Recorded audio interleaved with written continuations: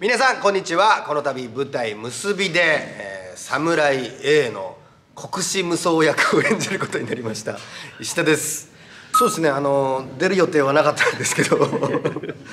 ちょっとねあのなかなか見つからなかったんですよ。なかなか見つからなくてもうここまで来たらもう俺がやろうということで。盾もやりつつあと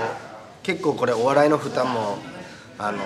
でかい役柄なので、えー、そこも踏まえるとまあここは石田しかいないだろうということで。そうですね。あの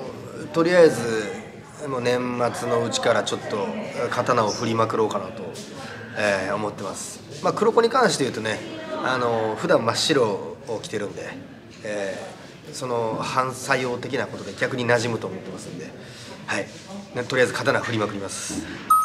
めちゃくちゃ面白い部分とめちゃくちゃかっこいい部分をこうどれだけ話せれるかが勝負だと思いますのでぜひ皆さんそちらの方ほんまにかっこよくなってんのかほんまにおもろなってんのかっていうのを、えー、チェックしに来てください、